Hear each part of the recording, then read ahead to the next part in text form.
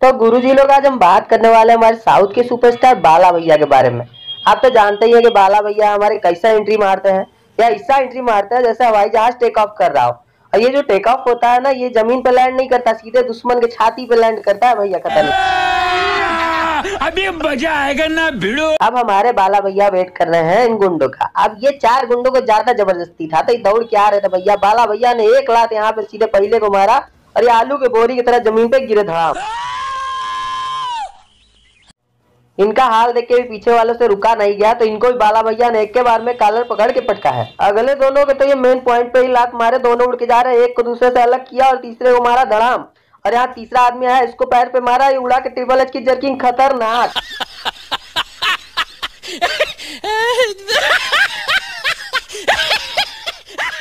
अब गुंडों को भी समझ में आ गया, एक दो करके फ़ायदा नहीं है तो पूरा का पूरा गैंग है दौड़ के इस बार आ रहा है। इन्होंने चुटकी बजाई, पीछे से इनका चेला इनको यहाँ पे एक खतरनाक हथियार फेंका और बिना देखे इन्होंने उस हथियार को कैच कर लिया। वाह। अब हमारे बाला भैया घोड़ा में बैठ गए हैं, घोड़ा लेके दौड़ रहे हैं। अब देखिए, दौड़ते दौड़ते यहाँ कम से कम नहीं तो डेढ़ सौ आदमियों को देखिए उन्होंने उड़ा दिया है। सब हवा में उड़ रहे हैं और ये अब विलन की गाड़ी रोड पे चल रही है तो भैया ये साइड से जा रहे हैं पूरा कांच वाच फोड़ते हुए। देखिए, रिप्ले भी दिखा रहे कैसे कांच फोड़ा बताइए, इसमें घोड़े की क्या गलती है? मुझे क्यों तोड़ा? चलो उठाओ।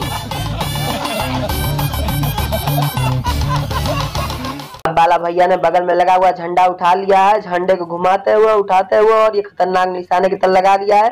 और दुश्मन की गाड़ी के स्टेयरिंग पे सीधा स्टेयरिंग यहाँ पे घूमी सारे उड़ गए लेकिन बाला भैया ने देखा दुश्मन किधर जा रहा है और दुश्मन को उड़ते उड़ते कैच कर लिया। Once more! Once more! Once more! और बाला भैया का कैच करने का जो शौक यहाँ पे भी आपको देखने को मिला ये बच्चा उड़ा और ये बाला भैया गाड़ी में से डायरेक्ट बच्चे को कैच करने के लिए उड़ गए ज़बरदस्त कैच फिर से। क्या बात है सर? क्या बात है सर? क्या बात ये बात है।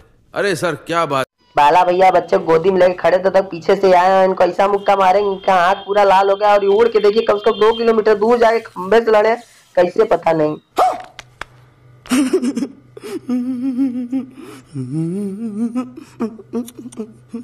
हमारे बाला भैया एक हाथ में बच्चे को लेकर खड़े हुए हैं तब तक दुश्मन चारों तरफ़ से उनके ऊपर हमला कर दिया लेकिन चारों तरफ़ से दुश्मन कैसे बच्चे और चारों को उड़ा दिया? भाई गजब। कोई सेंस है इस बात की? ये पट्टा बाला भैया के ऊपर अकेले हमला करने आया। बाला भैया ने इसका एक हाथ पकड़ा पहले तो इसी को दो बार झटका उसके बाद इसके दोस्त को इसी से पिटवा दिया। तीसरी बार में इसको लपेट के जो पटका है बा।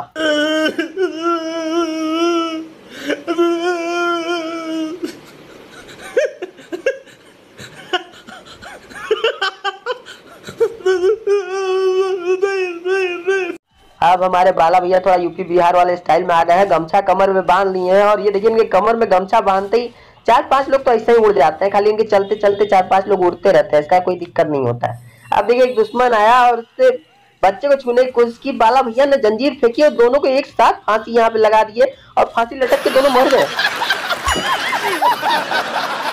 अब इस बुड़बक ने बाला भैया का गमछा काटने की गलती कर दी। अब भैया गमछा कटेगा तो गुस्सा तो आएगा ही।